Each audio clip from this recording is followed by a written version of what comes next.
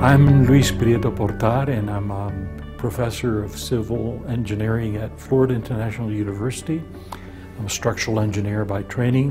Uh, got my PhD at Princeton. All these years, the common theme was not so much engineering, but really looking for what makes this world tick. That propelled me in parallel to seeking uh, a spiritual answer to everything.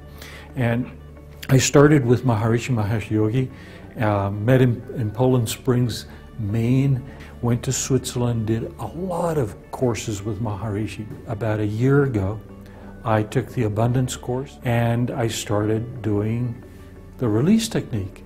I found it fascinating and I found the parallels with the Oriental meditations remarkably similar, but much more powerful. This is what I was looking for during 40 years doing TM, doing Siddha Yoga, and doing uh, Astanga Yoga, doing a lot of techniques. The ultimate experience of the reality of being came through the release technique.